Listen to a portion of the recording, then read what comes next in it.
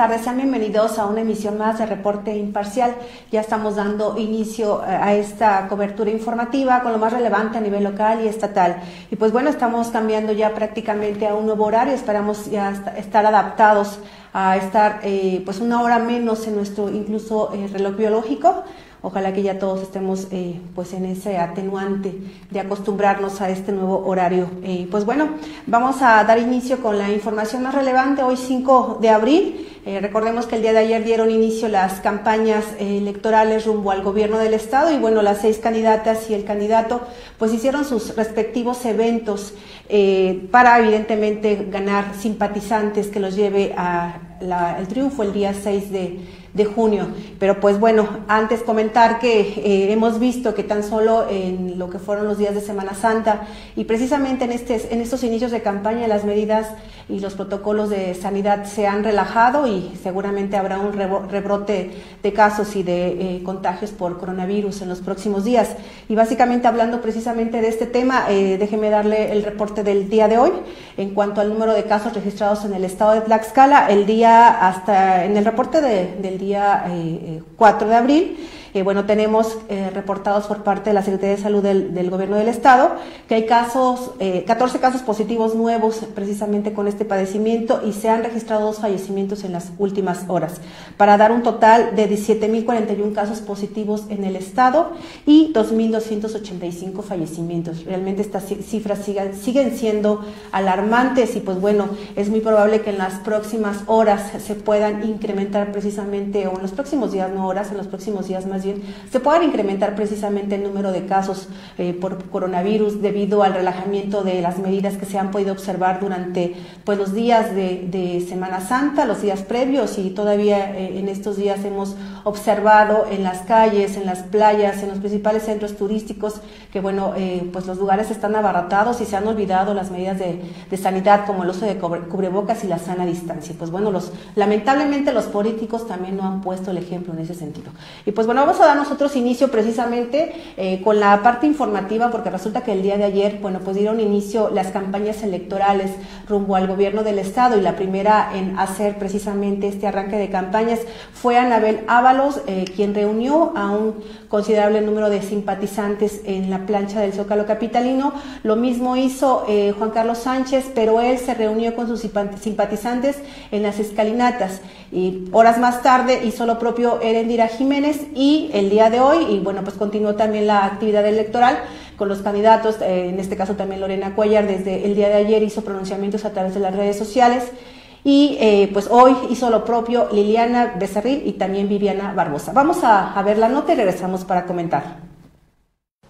Desde el primer minuto de este domingo 4 de abril dieron inicio las campañas electorales en busca del voto popular.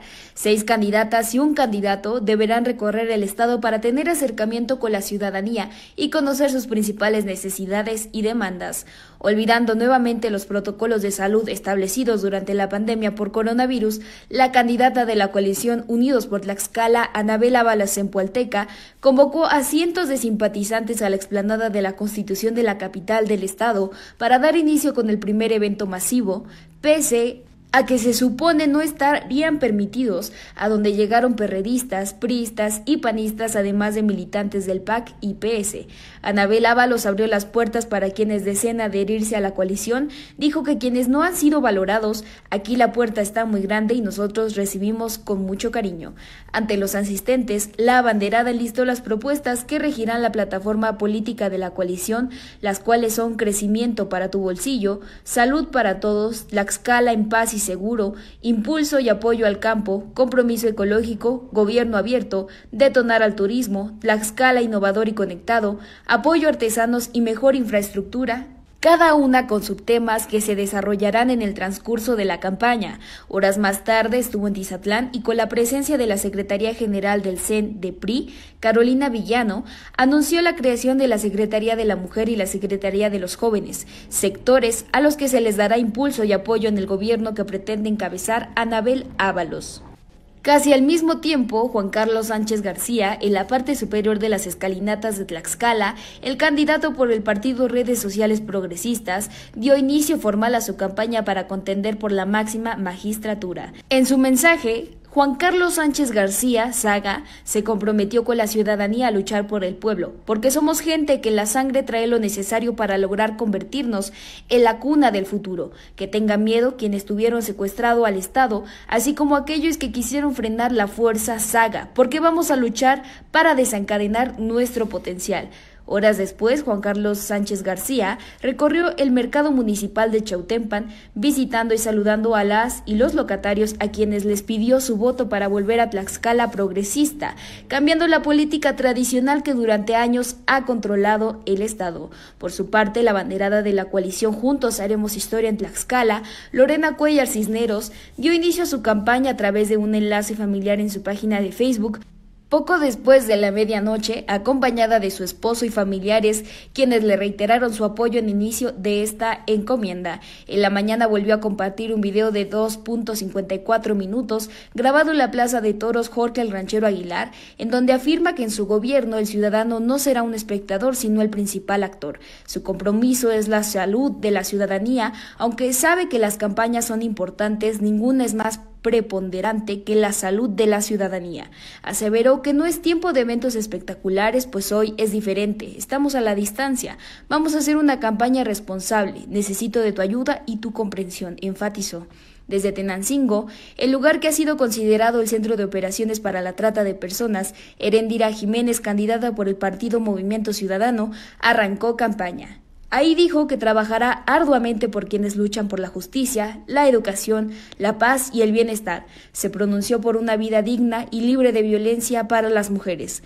Con un aforo muy limitado de personas, refirió que inició campaña aquí para visibilizar las necesidades de las comunidades más vulnerables. Lo primordial es atender primero a quienes menos atención han recibido en el pasado, donde la mayoría lo deja para el final. El principal tema en la agenda política de Herendia Jiménez será trabajar en mayores y mejores oportunidades para las mujeres, disminuir la discriminación, abatir la desigualdad y los feminicidios en el estado de Tlaxcala. De forma discreta y sin convocar a medios, la candidata a la gobernatura por el Partido Impacto Social, Evangelina Paredes Zamora, arrancó su campaña política este domingo con un recorrido y toque de puertas en Guamantla, cuyas actividades buscan escuchar el sentir de los ciudadanos y hacer llegar sus propuestas para tener un mejor Estado.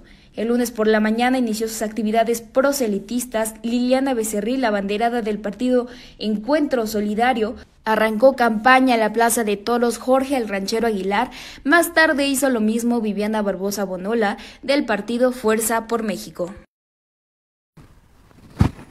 Bueno, pues como ya vimos en estas imágenes, observamos cómo en lo que fue la campaña de, en el inicio de campaña de Anabel, pues un número considerable de simpatizantes llegaron olvidando precisamente los protocolos de, sanidad y por supuesto no hubo sana distancia en este tipo de eh, eh, evento masivo que la candidata de la coalición Unidos por Tlaxcala eh, pues convocó, eh, repito, yo siento que de, manera irresponsable a, este evento. Lo mismo hizo eh, en este caso Juan Carlos Sánchez García, quien pues también lo vimos reunido y rodeado de, diferentes simpatizantes provenientes de diferentes lugares del Estado y pues bueno, muy lamentable que en este caso los políticos, quienes deberían de resguardar y garantizar la seguridad precisamente de los ciudadanos, pues no están haciendo lo propio. bueno, pues vimos a, Lorena muy reservada, de hecho ella creo que ha sido la única candidata que se ha limitado y que, bueno, de hecho la ciudadanía esperaba que se hiciera también un evento masivo y no lo ha hecho. Desde el registro de campañas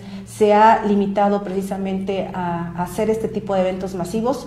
Únicamente observamos eh, dos eh, pues, transmisiones vía eh, redes sociales y el día de hoy por la mañana también se reunió con la prensa del estado de Tlaxcala para dar a conocer sus propuestas de campaña, pero ha sido reservada. Y pues bueno, eh, han hecho lo propio cada uno de los candidatos. Veremos si efectivamente estos 60 días que duran las campañas políticas logran convencer al, electorado para que el día 6 de junio pues voten por ellos. Dicen por ahí hay gente que, eh, algunos eh, analistas comentan que va a ganar quien realmente saque a la gente a votar. Y pues bueno, 60 días serán los que tendrán los seis, las las seis candidatas y un candidato para convencer precisamente a su electorado. Ya veremos si efectivamente logran ese cometido o se quedan en el camino. Pero bueno, de momento seguramente también dará inicio la famosa guerra sucia o las campañas negras, donde entre candidatos seguramente eh, pues se manifestarán sus errores. Eh, algunos lo harán de manera abierta y quizá otros utilizarán precisamente las redes sociales para dar a conocer los desaciertos de, de los candidatos o de sus oponentes. Bueno, bueno, ya estaremos viendo precisamente lo que sucede en estos 60 eh, días de campaña rumbo al gobierno del Estado. El, imparcial de Tlaxcala pues ha dado cobertura puntual a estos inicios de campaña y lo seguiremos haciendo de manera eh, pues imparcial, de manera profesional, en lo que eh, pues se refiera precisamente a las actividades proselitistas de, las candidatas y del candidato. Bueno, nosotros continuamos con la información y pues bueno, eh, el día sábado sucedió aquí en Huamantla un hecho por demás lamentable, ya que una persona perdió la vida en una trifulca que se suscitó en las calles de eh, este pueblo Ignacio Zaragoza y lamentablemente dejó un muerto. Vamos a ver la información. Una persona del sexo masculino fue abatida a tiros la tarde del sábado de Gloria en Guamantla, Tlaxcala, cuando en la comunidad de Ignacio Zaragoza se registró una batalla campal etílica que incluyó detonaciones de arma de fuego entre dos familias por rivalidades añejas, dejando un hombre muerto sobre el asfalto en uno de los accesos a la comunidad. Fue poco antes de las 17 horas cuando el servicio de emergencias 911 tuvo conocimiento de que se había suscitado una riña colectiva, donde hubo disparos por arma de fuego por un periodo prolongado que finalmente dejó como saldo una persona del sexo masculino herido mortalmente por un escopetazo.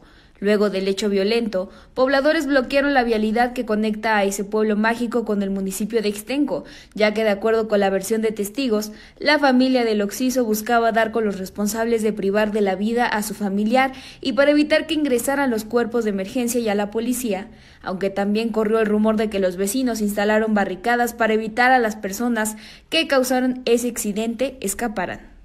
Poco antes de que se bloquearan los accesos, llegó la Policía Municipal y elementos de la Secretaría de Seguridad Ciudadana. Al llegar a la entrada constataron que efectivamente un hombre de aproximadamente 46 años de edad estaba sobre el piso, inerte y carente de signos de vida. A las afueras de la población se asentaron elementos de la Policía Municipal, de la Secretaría de Seguridad Ciudadana y de la Guardia Nacional, quienes implementaron un operativo para desviar a los automovilistas. Este hecho fue informado a la Procuraduría General de Justicia del Estado, que llegó resguardada de la Guardia Nacional para cumplimentar el procedimiento de levantamiento del cadáver. Sin embargo, los pobladores no querían a su ingreso a la zona de conflicto, pero mediante el diálogo se logró que los inconformes accedieran que una patrulla municipal, una estatal y una de la GN, así como de peritos, policías de investigación y el servicio médico forense, ingresaran al punto del conflicto para tomar conocimiento Debido a la situación, los pobladores con piedras, palos y machetes impidieron la diligencia del levantamiento del cadáver, lo que obligó a la autoridad ministerial a acceder a la petición de conceder la dispensa de la ley. No obstante, el agente del Ministerio Público inició una carpeta de investigación por el delito de homicidio calificado en contra de quien o quienes resulten responsables y se retiró del lugar junto con los elementos policíacos que resguardaban la zona. Bueno, pues como ya lo vimos, totalmente sin palabras lo que sucedió este sábado por la tarde, noche, en el pueblo de Ignacio Zaragoza, donde lamentablemente, pues bueno, una persona perdió la vida. No se puede entender que en pleno siglo XXI toda la gente siga arreglando sus diferencias de esa manera. Y pues bueno, ahora parece que no hay autoridad, no hubo autoridad precisamente que pudiera contener estos hechos delictivos en este lugar que lamentablemente se ha caracterizado precisamente por la violencia y los conflictos que eh, pues se han suscitado entre pues rivalidades entre familias, entre grupos, entre bandas, muy, muy, muy lamentable esto. Aquí la pregunta sería, es ¿qué sigue? Tendremos que seguir viendo precisamente que las familias se estén matando sin que la autoridad haga algo. ¿Dónde queda precisamente esta autoridad que debería de imponer el orden en la comunidad de Ignacio Zaragoza, que como ya dijimos, se ha caracterizado por eh, frecuentemente eh, ser protagonista de este tipo de hechos violentos? Bueno, pues pudimos observar precisamente que eh, los habitantes del pueblo Ignacio Zaragoza impusieron su ley y no permitieron que la Procuraduría General de Justicia del Estado hiciera el levantamiento del cadáver y por supuesto lo que corresponde ante este tipo de hechos. No, no, no dejaron que eh, en este caso uh, las autoridades hicieran su trabajo y como ya lo comenté, pues impusieron su propia ley. Lamentable, muy lamentable lo que sucedió precisamente en el pueblo de Ignacio Zaragoza. Ojalá que las autoridades pongan un poco más de rigor para eh, desempeñar su propio trabajo. Lamentable y pues sin palabras lo que sucedió este sábado en el pueblo de Ignacio Zaragoza. Nosotros vamos a un corte comercial y regresamos con la entrevista de esta semana y eh, pues ya tendremos más información más adelante. Regresamos.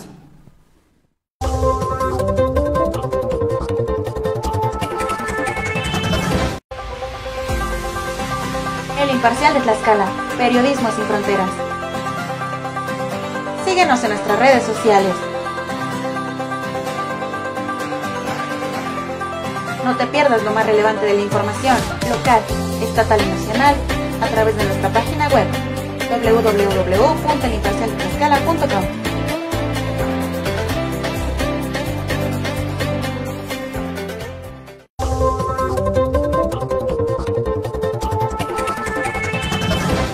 Bueno, pues ya estamos de regreso aquí en el estudio del Imparcial de Tlaxcala y como ustedes verán ya tenemos con nosotros al presidente municipal de Coapiastla, Arturo Hernández Hernández, con quien vamos a platicar precisamente eh, sobre algunos puntos importantes en el municipio. Buenas tardes, presidente, y bienvenido. Gracias, licenciada Patricia. Muy buenas tardes.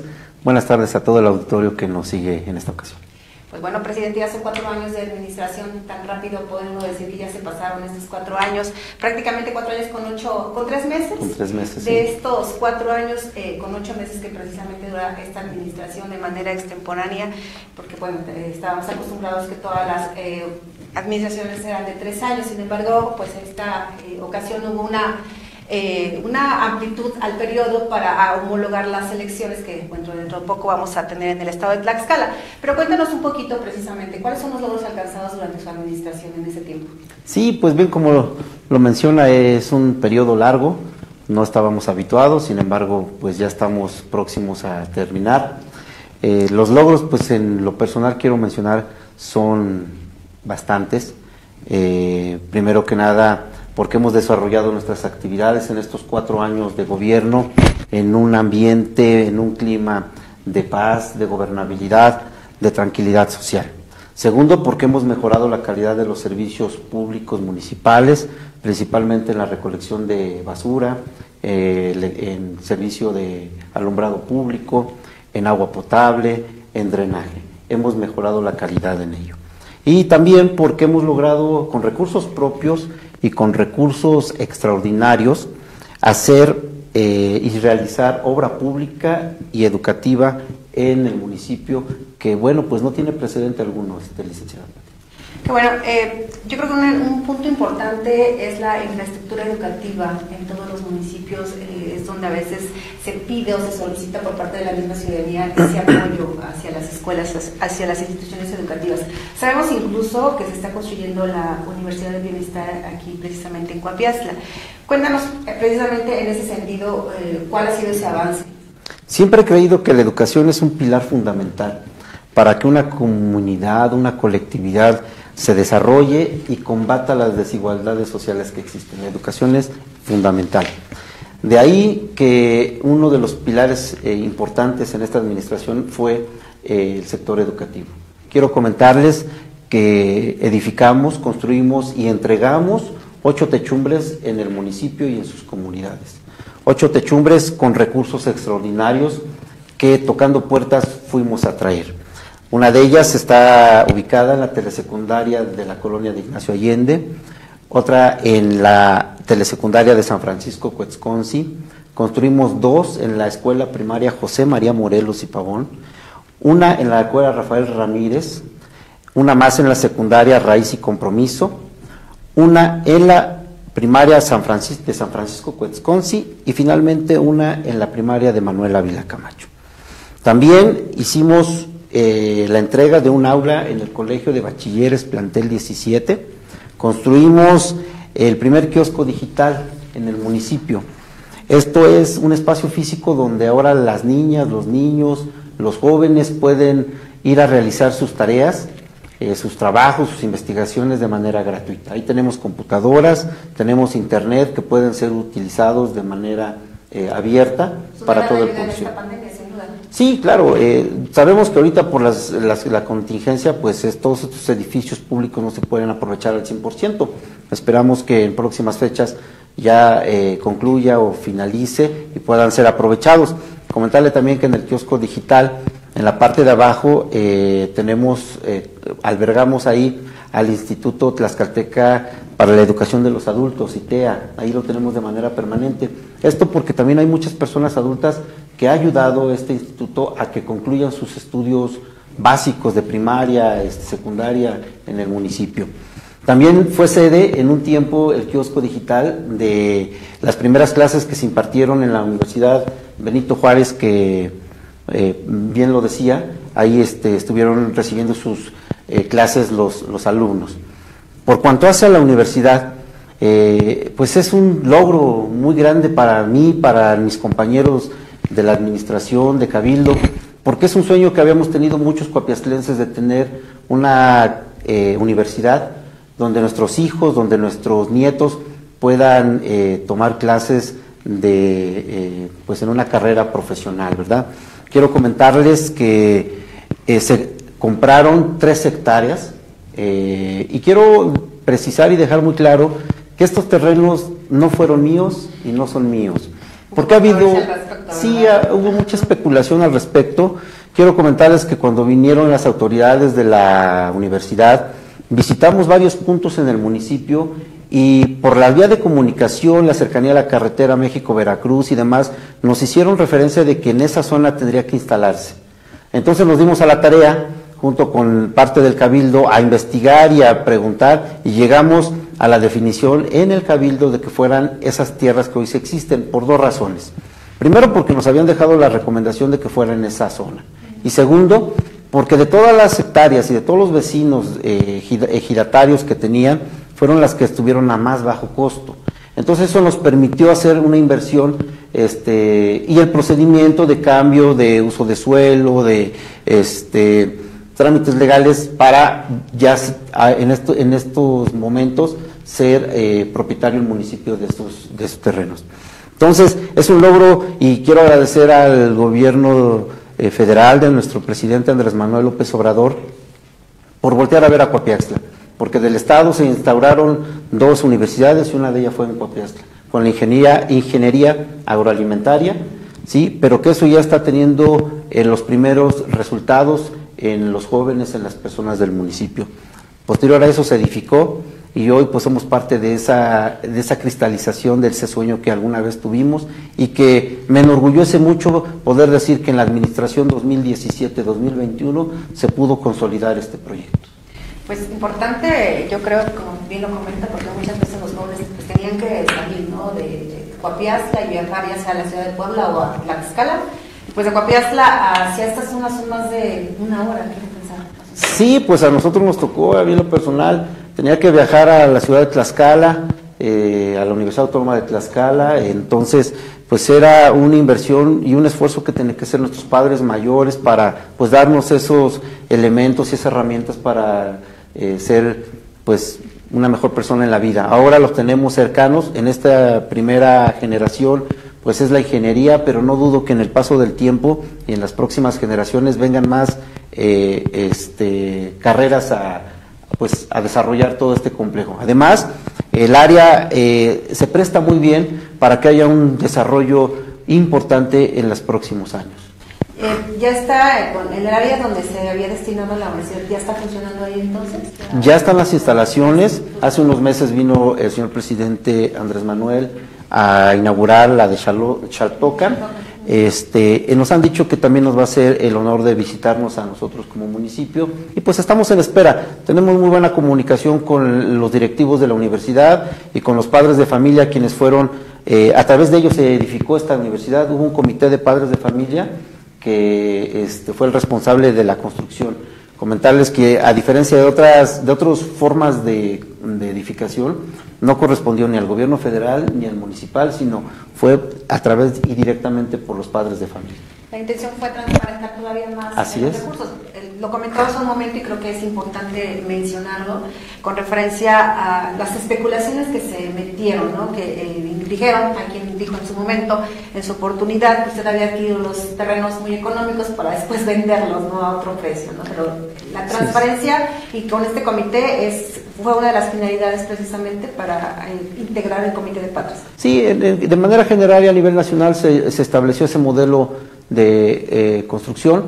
Quiero comentarle que, eh, pues sí, principalmente al inicio que empezamos a tener estos diálogos con los ejidatarios, hubo alguna persona que se acercó de manera muy este, maliciosa, queriendo pues efectivamente hacer eh, un complejo comercial ahí, pero para su persona.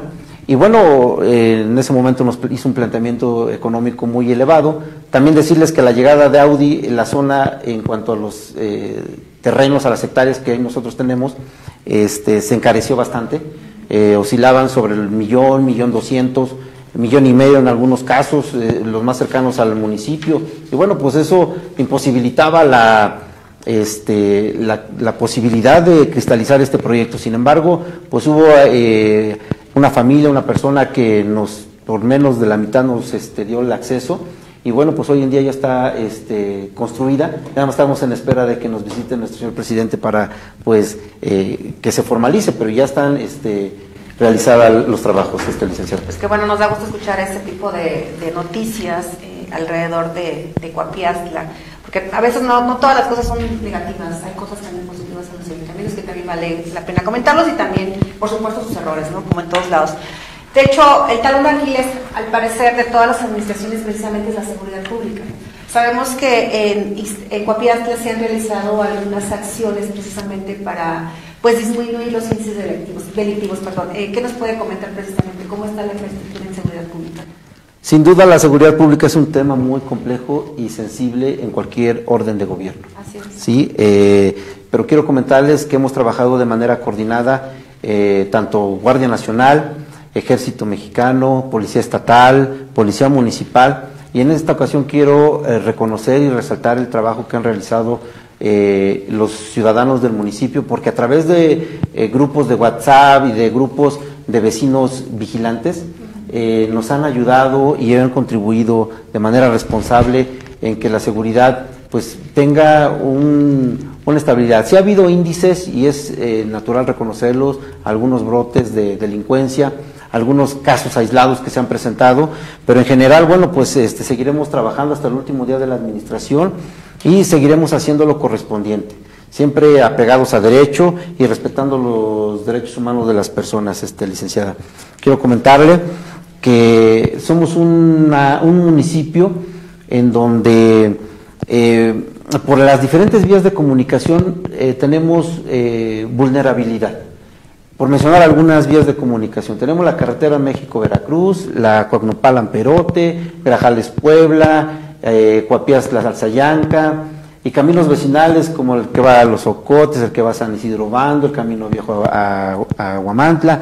Entonces, todo eso eh, nos pone en un estado eh, vulnerable y además permite a los delincuentes para eh, ser municipio de paso. Entonces eso ha provocado que en la zona pues eh, se- sí haya un incremento o se haya incrementado y también este, municipios aledaños este tipo de situaciones. Pero como tal, delincuencia organizada en el municipio, quiero comentarle que no tenemos detectados. Hay este, líneas de investigación en algunos temas que, bueno, pues no me corresponde a mí decirlo, pero que yo tengo conocimiento que se están indagando principalmente por cuestiones este, pues de narcomenudeo y de, cosas de ese tipo. ¿sí? Entonces, eh, eh, eso nos pone en estado de vulnerabilidad. Sin embargo, como municipios tenemos la responsabilidad de dar resultados y tenemos la responsabilidad de hacer trabajo eh, dentro del municipio. Quiero comentar que cuando llegamos a la administración el primero de enero del 2017, lo recuerdo como si fuera ayer, este, teníamos tres patrullas. Esas patrullas eran propiedad del gobierno del estado y las teníamos en comodato. Dicen que todo por servir se acaba y eh, hoy en día pues ya no están en funciones, pero además eh, tuvimos el compromiso de adquirir cuatro patrullas nuevas y rehabilitar una más. Al día de hoy tenemos cinco patrullas que están pendientes en eh, las comunidades, en el municipio, ¿sí? Este, además, eh, la tecnología hoy en día es fundamental para el quehacer de la policía y para el combate a la delincuencia. Por eso tuvimos eh, el proyecto, iniciamos el proyecto de instalar 34 cámaras de videovigilancia con un centro de mando llamado C2 en el municipio, en la, Dirección de Seguridad Pública, y que bueno, desde ahí se monitorea. Es, quiero aclarar que eh, una cámara de vigilancia no erradica, ¿sí? no elimina el problema de la delincuencia. Si bien es cierto es que nos ayuda para eh, actuar en el momento oportuno, también nos ayuda para darle seguimiento a investigaciones que se estén presentando y, por qué no decirlo, también para disuadir, porque cuando el delincuente ve que ya está siendo observado, pues puede pensarla dos veces. Esa es la finalidad de las cámaras de videovigilancia. No es para eh, erradicar, es un elemento, un instrumento de ayuda al cuerpo de policía que tenemos, que por cierto quiero comentar también al inicio este, encontramos un cierto número y estos cuatro años incrementamos en un 40% eh, la plantilla laboral de la Policía Municipal. Asimismo, se les ha... policías tienen actualmente? Pasamos de ser eh, aproximadamente 20, policías, pasamos de 20 a 28 policías actualmente. ¿sí? Sabemos que todavía es eh, poco ¿sí? y suficiente pero bueno, pues estamos dándonos a la tarea, sobre todo porque tienen que cumplir hoy en día, eh, de acuerdo al, nuevo sistema eh, de seguridad, eh, los policías deben de cumplir con ciertas características, evaluaciones, capacitación y posterior a eso tener una aprobación, una certificación. Y, la mayoría ya la tiene y en su el complemento está en el proceso, este licenciado. Entonces, eh, comentarle que eso lo hemos venido también tomando en cuenta las capacitaciones este, hacia los compañeros. Algo muy importante es el salario de ellos. Quiero comentarle que en estos cuatro años incentivamos y aumentamos cerca del 40% también de, como iniciamos en la administración, a como estamos finalizando, seguramente lo vamos a terminar en un 50% más del salario inicial que nosotros, eh, que estaban percibiendo los compañeros hacia la fecha. Entonces todo eso se traduce en que haya eh, más resultados, más trabajo. Sabemos que como seres humanos existen errores, existen este, eh, cosas por hacer y reconozco que es un tema eh, inalcanzable, inagotable de oportunidades. Quienes me sucedan se, se dará cuenta que, bueno, pues el trabajo que se haga será todavía insuficiente. Pero estamos con el compromiso de seguir este, haciéndolo, licenciada. Eh, eh, personas del auditorio. También quiero comentarle que el alumbrado público es un factor importante en el tema de la delincuencia. Donde hay obscuridad, el delincuente ve que existen puntos eh, débiles en la población, en la ciudadanía, en el municipio. Entonces, del total del alumbrado público que existe, al día 31 de enero del 2020 logramos reemplazar el 70% del alumbrado que tradicionalmente se conocía por la tecnología LED. Llevamos un avance del 70% y vamos a terminar con un 15 más en este año. Vamos a cerrar con un 85% del total de reemplazo, sin deuda. No este, nos hemos endeudado para cambiar las lámparas, no nos hemos endeudado para hacer obra, no nos hemos endeudado para eh, tomar prestaciones o algún otro tipo de eh, pues incentivos hacia el personal. Todo ha sido aplicado de manera responsable y disciplinado. Entonces, en este sector de seguridad pública es lo que yo le puedo comentar, los avances que tenemos y resaltar sobre todo el trabajo que se ha hecho en equipo con la ciudadanía, porque ellos han sido pues siempre nuestros supervisores, nuestras guías, pero también quienes nos han estado exigiendo eh, trabajo, ¿no? Y exhortar también a la policía, a los elementos de que sigan cumpliendo y que si hay errores pues los corrijamos, estamos a tiempo. Hablaba de las eh, cámaras, 24 cámaras de videovigilancia que se colocaron precisamente en el municipio, cosa muy importante porque decía, a lo mejor no es que eh, vaya a, a, inhibir como tal el delito, pero sí ayuda ¿no? para, para vigilar, para controlar. Pero estas cámaras realmente sirven porque no, luego sucede, ¿no? Ha sucedido en municipios como Huamantla, tenemos también un sistema de seguridad de videovigilancia y muchas de las veces cuando se solicitan estas cámaras porque sucedió un, delito en ese lugar, pues no funcionan. En el caso de Cuartidas, las 34 están funcionando. Así es.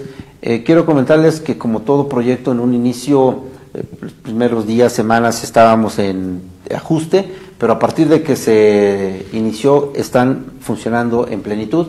Lógicamente, como son tecnología, pues eh, ameritan y requieren en tiempos determinados mantenimiento, seguimiento, este, eh, revisión con descargas eléctricas, con los rayos, con el aire, bueno, pues tienen, eh, tienden a, generar algún tipo de error. Sin embargo, bueno, pues eh, tenemos la oportunidad de, revisarlas.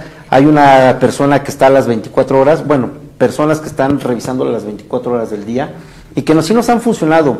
Comentarle que hace unos, unas semanas tuvimos un percance, quisieron asaltar ahí a un carro de una gasera este, una camioneta, se dio parte eh, de inmediato, se hizo una persecución y a la salida a Grajales se logró recuperar este, la, unidad. Otro más en un robo a transeúntes, de igual forma este, se notificó a tiempo, se dio seguimiento y se nuevamente se recuperó también esa parte.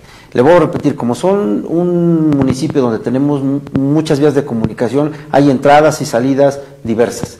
Entonces eso nos eh, dificulta el trabajo. ¿Sí? Sin embargo, también de comentarle a la ciudadanía que en la medida de que nos avisen, nos informen de manera inmediata, va a haber la oportunidad de reaccionar más a tiempo en cuanto a algún percance se llegue a presentar. Pues es grande escuchar este tipo de, noticias, ¿no? Que se ha podido eh, detener a ciertos delincuentes en la zona. Pues gracias al trabajo coordinado que usted nos comenta, ¿no? En materia de seguridad pública. Cambiando un poquito eh, precisamente de tema, eh, sabemos que tenemos prácticamente un año con una pandemia que ha dejado muchos estragos en la población y pues los ayuntamientos, los municipios han tenido una labor importante en ese sentido. Eh, precisamente, ¿ustedes cómo han combatido, cómo han ayudado a la ciudadanía para, pues, para evitar lo posible mayores estragos a causa de la pandemia? ¿Cómo hemos combatido? Creo que aquí existe una directriz desde el nivel nacional en la Secretaría de Salud y a nivel local en la Secretaría de Salud aquí eh, en el Estado, en donde nos van dando las directrices que tenemos que seguir. Desde un principio eh, instalamos puntos en donde eh, se genera un lavado de manos, hemos repartido gel antibacterial de manera permanente y constante en instalaciones, en puntos donde haya aglomeración de la ciudadanía. También se han repartido cubrebocas en los tianguis, en, los, en las paradas de los, de los camiones. Ha habido una eh, campaña permanente de información de este pues que hayan se tomen las medidas adecuadas en el lavado de, manos este como eso también eh, eh, pues implementamos programas de sanitización sí tanto en las instalaciones como en las paradas en los autobuses, en las vialidades. El gobierno del Estado a través de Protección Civil nos ha mandado las jornadas de sanitización y también las hemos aprovechado como tal, principalmente eh, para prevenir. En cuanto a la situación de ya eh, en el caso supuestos que se sospecha de posible contagio, pues hemos apoyado, incentivado a las personas en apoyos económicos para medicamentos, para médicos, este, para que se vayan cubriendo ese tipo de gas, porque la enfermedad, además de que es muy dolorosa, es muy costosa. Y en el peor de los casos, pues nos ha arrebatado muchos seres queridos, familiares de un servidor y de compañeros eh, de la administración y gente que yo conozco han fallecido y han perdido la vida. Entonces no podemos ser insensibles ante el dolor humano. Quiero comentarles también que hemos brindado apoyos eh, para familias que han perdido a sus seres queridos este, y eso, bueno, pues no lo podemos estar ventilando, no lo podemos estar dando a, saber en listados y demás, porque eso es eh, pues algo, un tema muy sensible, pero que cada uno de los ciudadanos con los que se han acercado nos han pedido eh, el apoyo y nosotros de manera muy sensible y respetuosa les hemos brindado ese apoyo, solamente cada uno de ellos lo conoce. Sí, por respeto a cada una de las familias y de cada uno de ellos, omito pues mencionar algunos ejemplos, algunos nombres, pero sí hemos participado. También decirle que el tema de la pandemia no solo ha afectado el tema eh, de salud, sino el aspecto económico en las familias. Al principio de la pandemia, por ahí de los meses abril, mayo, se perdieron el empleo muchas personas que en lo local, en el municipio, se dedican a la construcción a la tabla roca. Entonces generamos eh, directamente en Cabildo un programa emergente de apoyar a todas las familias, a todos aquellos desempleados con una eh, despensa. Una despensa que, bueno, pues no es eh, a lo mejor para algunas personas gran cosa, pero aquellas personas que conocemos y sabemos el, pues lo que es tener una necesidad y sobre todo cuando se pierde el empleo de manera repentina y abrupta, pues este se valora. Posterior a eso le dimos continuidad y en las comunidades, en las nueve comunidades del municipio se terminó entregando a todas las familias una despensa en cada uno de los hogares. En total hemos repartido más de 3.500 despensas este, a lo largo del municipio. Y que bueno, pues eso, este, con eso nos solidarizamos directamente con, con, las personas, principalmente con sectores vulnerables como tercera edad, como este, niños, como personas que tienen una enfermedad crónico-degenerativa. Y, y, eso pues, nos ha permitido este, también contribuir y colaborar en ese aspecto con, con, la ciudadanía. Además de eso, bueno, pues eh, hemos eh, seguido las, las indicaciones de la Secretaría, se, han, se cerraron en su oportunidad los espacios públicos, agradecerle a las personas y a los comerciantes que han respetado, que han seguido los lineamientos que la autoridad de salud nos han establecido y que bueno, pues nosotros eh, nos hemos acercado con ellos a pedirles y que ha habido buena respuesta. Invitar también a la ciudadanía y comentarles que eh, la responsabilidad inicial y final de la protección radica en uno mismo, en cuidarnos a uno mismo y cuidar nuestra, a nuestras familias y a nuestros Sobre todo porque la pandemia no ha terminado, continúa y viene pues un periodo importante que es el proceso electoral, donde seguramente eh, pues podría eh, darse o derivarse una ola de contagios ante a veces, espero que no suceda la necesidad de algunos aspirantes a querer hacer eh, eventos masivos, pero bueno, ahorita hablaremos precisamente del tema electoral para terminar precisamente con ese trabajo que ha realizado durante estos cuatro años eh, de administración, sabemos que faltan todavía cinco meses para que concluya, pero en materia de infraestructura eh, social, la gente también es lo que más a veces solicita, ¿no? ¿Qué es lo que ha hecho el gobierno en ese, en ese aspecto? Sí, comentarles que hemos generado desde un inicio eh, una campaña de información, ¿sí? que desafortunadamente pues, al, no ha sido suficiente y que no siempre se ha eh, informado en un periodo oportuno, pero sí lo hemos hecho.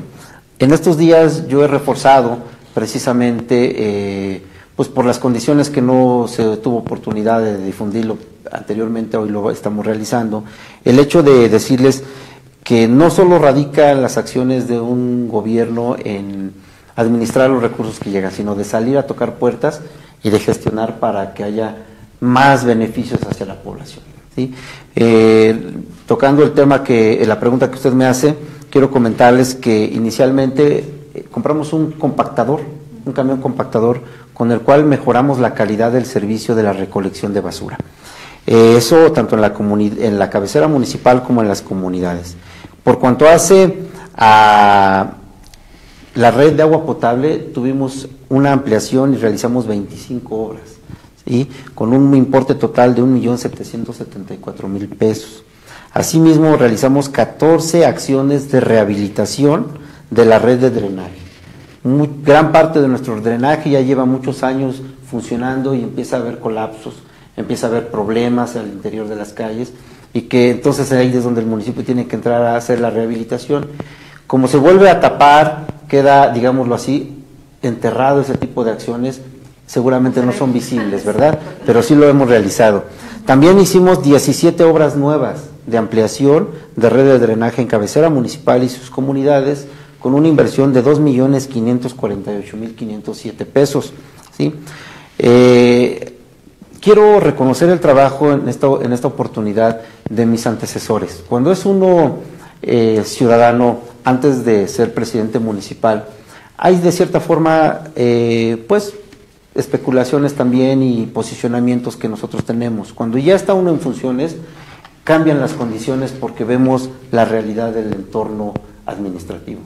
Entonces quiero reconocer porque hubo un presidente que adquirió un terreno para que se generara un panteón municipal. Mi antecesor, el presidente Fren López, le dio un seguimiento y, se, edificó una primera etapa de la barda perimetral, aproximadamente un 55% de esa barda. Hoy quiero comentarles que nosotros la, complementamos, hicimos 393 metros cuadrados de barda perimetral, con lo cual ya cumplimos completamente de este, pues bardear el panteón, ya está en funciones, ya eh, podemos utilizarlo. Este, hemos sido muy respetuosos de las familias que todavía no tienen, digamos, eh, pues la oportunidad o el deseo de que sus familiares que fallecen puedan ser eh, ahí sepultados, pero ya está eh, disponible. Asimismo, y quiero resaltar que en el tema de infraestructura social municipal realizamos 50 obras, este, licenciada, 50 obras de construcción de pavimento, de adoquín y banquetas, en el mismo número de vialidades, de calles. Sin duda, esta es una inversión histórica de 18 millones 977 mil 877 pesos en la cabecera municipal y en las comunidades. No sé si tengamos tiempo, pero eh, yo voy a tomar un minuto para mencionar algunas. En la calle 5 de mayo de la colonia Morelos, en la calle 12 de diciembre de la colonia El Valle, en la Emiliano Zapata de Plan de Ayala, en la Benito Juárez de Loma Bonita, en la calle La Pinta, en otra calle La Santa y, la Santa María y la Niña en La Raza. Construcción también de un pavimento en la 16 de septiembre, en la 5 de mayo de Ávila Camacho. Eh, y bueno, pues por mencionar algunos, sí, tengo eh, el desglose de, de lo que son las 50 acciones de pavimento que se realizaron en el mismo número de vialidades, tanto en la cabecera municipal como en las, en las nueve comunidades que existen. Sí, comentarle que aun cuando hay comunidades pequeñas, como el Valle, como Tepatlasco, como Loma Bonita, no hemos distinguido, aunque hay pocos habitantes, hemos distribuido el recurso de manera equitativa, a manera de que tengamos un progreso común, que tengamos un progreso equiparado, este, por cuanto hace al, al tema este. También quiero comentarle que de la gestión que ha sido fundamental eh, en esta administración, hemos logrado restaurar lo que fue el, portal Iturbide, que es el portal chico, el portal Hidalgo, que es el portal grande, la parroquia de San Lorenzo Mártir, el Panteón Viejito como lo conocemos, además hicimos también un gimnasio de usos múltiples al, al interior de la unidad deportiva, eso pues todo con recurso extraordinario. Quiero agradecer y reconocer el trabajo de nuestro señor gobernador Marco Antonio Mena Rodríguez, porque gracias a él tuvimos una inversión importante en dos aspectos fundamentales, que fue eh, la imagen urbana, el cambio de imagen urbana en el municipio, que fueron una inversión de más de 42 millones de pesos en, en la habilidad principal del municipio, que también fueron eh, la construcción de una planta de tratamientos de aguas residuales en la comunidad de Ignacio Allende con más de 17 millones de pesos y que bueno, eso fue por parte del gobierno del estado que realizamos la gestión y que ellos voltearon a ver hacia el municipio para esa inversión. Hoy vamos a Coapiesla por la noche y vemos que ya está alumbrada las calles. La entrada principal ya tiene un aspecto diferente. ¿sí? Anteriormente las, las banquetas pues eran intransitables Hoy ya la tenemos este, pues al 100%. Y acciones como esas también nos ayudaron eh, y agradezco, quiero agradecer a la contadora y exdiputada federal Rosalinda Muñoz Sánchez por el apoyo que nos brindó en la gestión extraordinaria y gracias a eso pudimos realizar las primeras cuatro techumbres, el kiosco digital, el gimnasio, ¿sí? Entonces, pues eso fue parte de la administración de ella como diputada federal. A su vez, eh, agradecerle también al diputado Ramiro Vivanco Chedraui, porque con él nos apoyó también para la instalación de unas calles, de una este, de apoyos para la ciudadanía en materia del campo, como fue el otorgamiento de avena este, el año eh, eh, pasado, este, para animales también de traspatio. también le agradezco al diputado José María Méndez que nos ayudó para la edificación de la eh, techumbre de la Escuela Raíz y Compromiso, a la diputada Maribel León, este, a la diputada Sonia, que este año nos etiquetaron recursos para también realizar tres acciones importantes en las comunidades que, pues eso para cerrar, yo quisiera dejarlo al último y decirle cuál es lo con lo que vamos a cerrar esta administración. Ok, precisamente ya que vamos para allá ya, presidente. eh, pues eh, escuchamos importantes obras, eh, también trabajos que se han realizado durante esta administración. Restan prácticamente cinco meses, ya lo habíamos dicho. Usted se siente satisfecho, pero pues efectivamente, ¿qué es lo que falta todavía por hacer por días? Yo creo que nunca va a ser suficiente el trabajo que realice una, una autoridad. Tenemos que ser conscientes y realistas de que siempre va a haber tareas pendientes. Pero sí eh, tengo un buen sabor de boca y sobre todo eh, evalúo que es un, ha sido un trabajo positivo por lo que acabo de mencionar y sobre todo porque ha habido eh, pues también paz, tranquilidad y todo eso ha contribuido a que se haga un, pues un trabajo adecuado. Este, dentro de esto que, que me menciona, a cinco meses de que terminemos, pues todavía nos faltan muchas acciones por hacer. Quiero decirles que vamos a hacer obra pública, ya se está iniciando en todas las comunidades nuevamente, en las nueve comunidades, y destacar el hecho de que vamos a... Hay localidades que son de nueva creación y que por la misma necesidad pues no cuentan con los servicios básicos. Hay una en lo particular que durante muchos años no se le atendió, que fue la colonia de Santa Cecilia, está pegada al barrio de Altaluz, que carecía de un servicio básico que era el drenaje. Hoy ya cuenta toda la colonia con ese servicio, lo logramos instalar, logramos hacerle la fosa séptica, hicimos otra fosa séptica más en la comunidad de José María Morelos, una fosa séptica más en Santa Beatriz, y bueno, pues eso todo esto ha contribuido para que se, se cristalicen este tipo de trabajos. Pues presidente, prácticamente para terminar con esta plática que hemos tenido el día de hoy con usted, estamos en pleno proceso electoral. Eh, vamos a en este año a, elegir a nuestro próximo gobernador, se cambiará nuevamente el Congreso del Estado y por supuesto los 60 ayuntamientos. Pues los ayuntamientos tendrán que tener un espacio eh, de veda electoral, pero ¿cuál es su posicionamiento? Sabemos que incluso eh, a través de las redes sociales se le ha vinculado con, ciertos personajes, pero pues, ¿qué mejor que usted para que nos aclare eso al respecto? Sí, yo creo que en el cambio de cualquier administración, de cualquier eh, nivel de gobierno, siempre va a haber voces que pues traten de confundir, de malinformar a la sociedad, lo vemos en, el orden federal, en en lo estatal y por supuesto en lo municipal. Eh, el escenario político que yo veo es muy bueno. Existen varias personas con diferentes perfiles, que eso da una pluralidad y una diversidad de mm, eh, oportunidades para que la ciudadanía pueda elegir bien. ¿sí? Cuando hay más competencia, cuando hay más participación, pues hay más oportunidades, más opciones. Yo sé y conozco que existen ya algunas personas que son virtuales candidatos, algunos de ellos este, pues eh, eh, ya están haciendo lo propio para registrarse. Eh, tengo conocimiento que hay tres extraordinarias mujeres.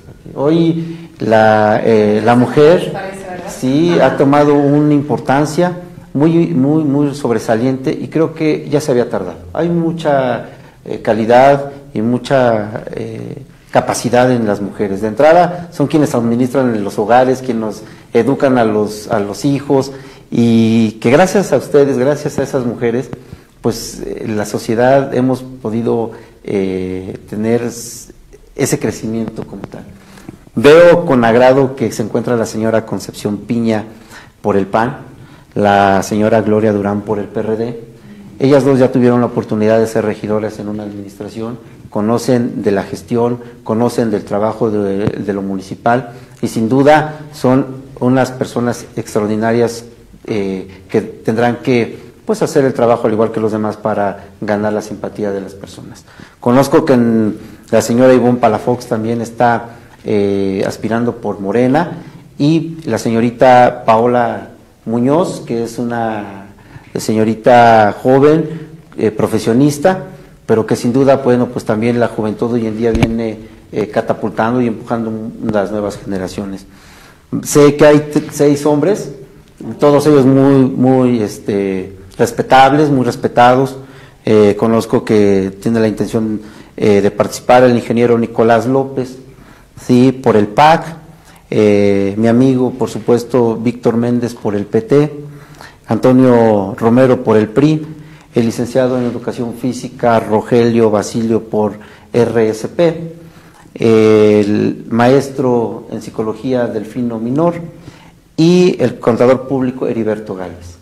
Como verás, hay una diversidad de perfiles que eso seguramente pues va a motivar a la ciudadanía a escucharlos y a conocer sus propuestas y que yo creo que todos ellos, al igual que un servidor, tienen un fin o, han tenido una ideología, una ideología, que es trabajar por Coapiaxla para que la ciudadanía, los habitantes de Coapiaxla tengan un mejor lugar donde vivir, con más oportunidades, con mejores opciones, con mejores servicios, ¿verdad? Y que desde aquí yo les quiero desear lo mejor a todos y cada uno de ellos. Este, es muy respetado y muy válido su, su intención. Sí quisiera yo hacer una mención y un punto aclaratorio, este, Patti, en donde me vinculan con tres hombres, efectivamente, y una mujer. ¿sí? Quiero decirles que yo no tengo ningún interés personal porque alguno de ellos llegue, ¿sí? porque alguno de ellos esté. Sí es bien cierto que como autoridad pues tenemos un, y como ciudadano un interés de que pues sea el mejor proyecto. En su momento, cuando vaya a la urna, porque lo haré, pues definiré mi voto también.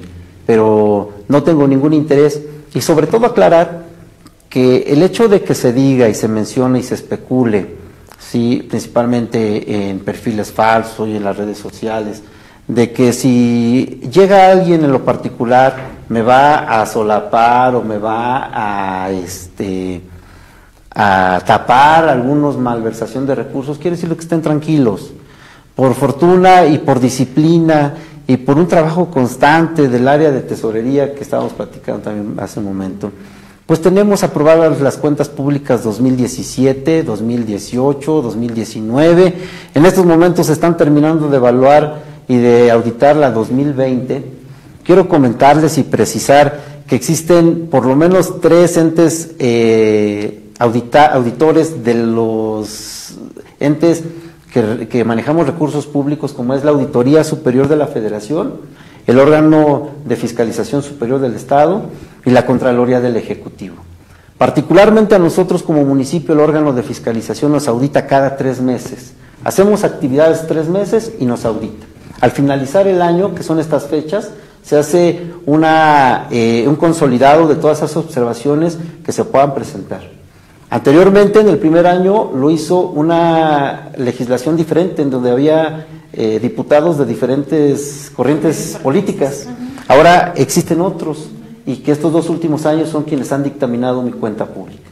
Entonces, por ese lado yo estoy tranquilo, decirle a la gente que no se deje engañar, sorprender, porque quien gane va a ser por elección de ellos. Quien gane será quien gane su voluntad, su confianza, pero no aquella persona que pues a lo mejor tenga algún acuerdo, algún compromiso conmigo. No es así. Yo eh, terminaré mi encargo, seguramente habrán de quedar temas pendientes porque se termina en agosto y el ejercicio fiscal termina en diciembre, es hasta donde se va a cerrar Posterior a eso, pues habrá que darle seguimiento a, este tipo de situaciones de observaciones, de auditorías que se han generado y que se van a seguir generando. Pero decirle a ustedes que no tenemos nada que ocultar, puedo ver a mis conciudadanos con la frente en alto, agradecerles a quienes confiaron en mí, ¿sí? Y a quienes también no lo hicieron, porque me han permitido eh, y me han distinguido con el honroso cargo de ser representante de cada uno de ellos. Espero no haberlos defraudado. Sé que hay muchas eh, asignaturas pendientes, muchas autoridades que pues van a llegar y van a darle seguimiento, pero no por eso pues es menos importante decirles que les agradezco eh, a todos y cada uno de los ciudadanos por la oportunidad, por mantener una gobernabilidad dentro del municipio. Los resultados ahí están están a la vista de todos. Hoy vengo nada más a hacer un recuento, ¿verdad? un enlistado de lo que hemos realizado y como eso, pues seguramente ahorita no, me viene a la mente la totalidad de las acciones que hemos emprendido. Pero ustedes pueden ir a Loma Bonita, a Ávila Camacho, a Allende, a Morelos, a San Francisco, a Plan de Ayala, al Valle, a Tepatlasco, y seguramente van a ver ahí las acciones que hemos realizado durante estos cuatro años de gobierno.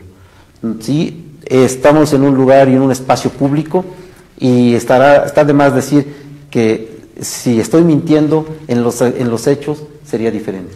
que la sociedad se lo demande, tal cual como Así es. Eh, protestan en su momento. sí. Pues le agradecemos, presidente, el que hayamos tenido la oportunidad de platicar con usted. Creo que es importante, como lo mencioné en su momento, que la gente se entere pues de, de la primera eh, autoridad en el municipio de cómo están las cosas eh, en Guapías. Pues le agradecemos, ya nos excedimos un poquito con esta plática, pero es necesaria, es al contrario. Muchas gracias por, por estar con nosotros aquí. Muchas gracias, este, señora Patricia. Muchas gracias, eh, querido auditorio. Buena tarde. Pues gracias y esperemos tener la oportunidad antes de que se vaya de su administración, antes de que deje la administración, de volver a platicar con usted. Con mucho gusto. Muchas Nosotros eh, vamos a un corte comercial y regresamos eh, con más de reporte imparcial. Muchísimas gracias.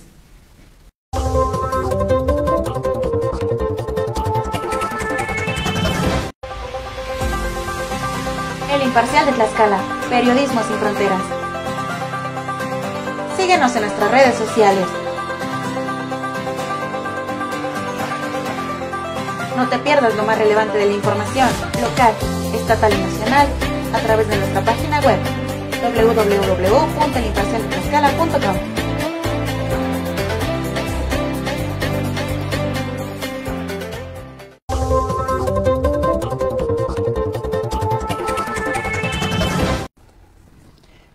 forma despedimos el reporte imparcial de esta semana. Los invitamos para que el día de mañana adquieran la edición impresa del periódico El Imparcial de Tlaxcala, donde eh, vendrá lo más relevante de la información a nivel local, estatal y regional. No dejen de seguirnos también a través de nuestras plataformas y el próximo miércoles los seguimos invitando para que tampoco dejen de eh, sintonizar el programa Mirada Crítica. Les agradecemos muchísimo que nos hayan acompañado en este programa y nos saludamos en una próxima emisión. Muy buenas tardes.